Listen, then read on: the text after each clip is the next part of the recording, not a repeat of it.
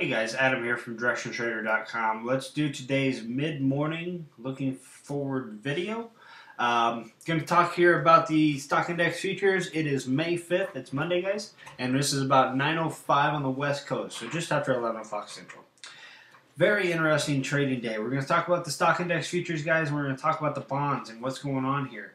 Um, if you go back to last week's video, I talked a lot about um, the S&P and the Russell, and I said basically um, without a doubt, we're still holding to the upside, guys. We're still above any major support. We're, we are testing resistance, so that thing that is what I'm worried about. Um, but anytime we can we, we get a pullback here on the S&P, I'm just considering that a buying opportunity. Same way with the Russell and so on and so forth.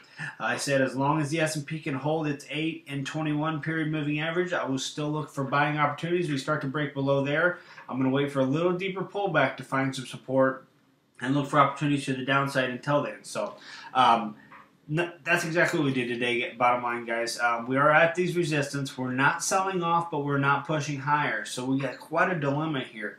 Um, if we are able to push higher here, it's going to be off to the races because there's absolutely nothing to stop us. But we are having the bonds up a little bit higher. So as long as we hold the um, the 21 and the 8 period moving average here on the S&P, I'm going to continue to look for long side opportunities and continue to be bullish on this market. Now, we put in a nice low today. We put in a nice, low this morning, so that could be used moving forward. If we do break below uh, today's low, we got some downside movement here that we can look for moving forward. Let's go over to the Russell here and talk about the Russell. Today in the Russell, we took two trades. Bottom line, what happened here was we have this support down here on the Russell that comes through here, this nice support area. And if you look back here recently, we've really created these big candle wicks to the downside. This area of accumulation and then blast off to the upside. And we talked about this early this morning in the trading room.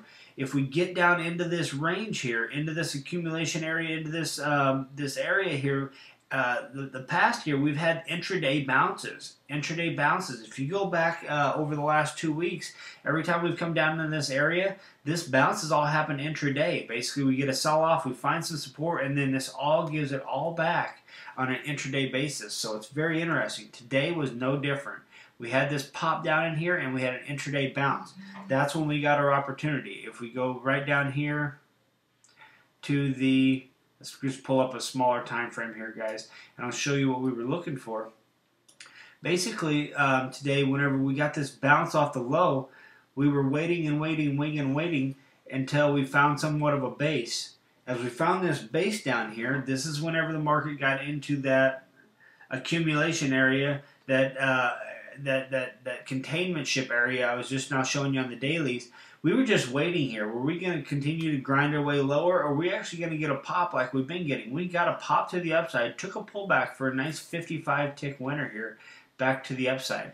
Took a nice trade here back to the upside for a nice 50 plus tick winner here per contract. So, and that's all we did. We used the we used the exact same trading mentality that we used last week and the week before. Whenever the market comes down to this this this uh, basically this support area on the daily chart, we just waited, and then sure enough, we got that push right back to the upside. We simply took a Fibonacci pullback. Got a nice entry and then was able to go ahead and take that entire swing off up here a little bit higher. Took uh, off here at the 21s actually. So, uh, really good intraday trade setup and a really good opportunity that we took today in the morning in the live trading room. So, but moving forward, what do we see here? We're still holding that area. As long as we keep on holding this area, I'm going to keep looking for the same stuff here. Um, basically, looking at a smaller intraday time frame to find them reversal opportunities back to the upside. Now, we do have a lot of momentum here pushing down us on the Russell, so I'm not going to be, um, you know, any type of along the Russell until we can get, start break some of these uh, previous swing highs. We get above the highs from Friday.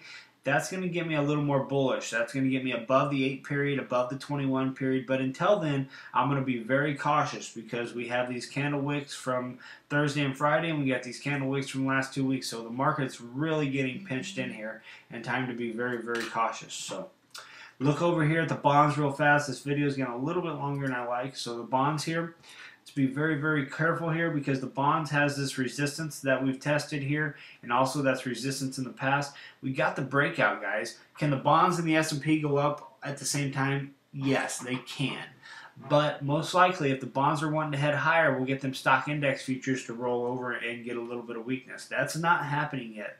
Um, the bonds are pushing up. The indexes, um, especially the stock index and the, and uh, the S&P and the Dow, are holding fairly strong here. So, very curious how we're going to react whenever the bonds come back and retest this support, which used to be resistance.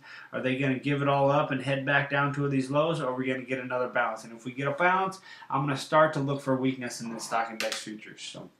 I hope this video helps, guys. I hope it all made sense. I hope it's able to help you moving forward and choosing uh, the right prices and, and how to identify support and resistance and just keep yourself out of the chop, you know, for the most part. But uh, if you have any questions, um, go ahead and email me, adam at directiontrader.com. I'm pretty good at getting back to my emails. But um, feel free to go ahead and email me, adam at directiontrader.com. If not, thanks for watching these videos, and I will see you in tomorrow's video. Have a good afternoon.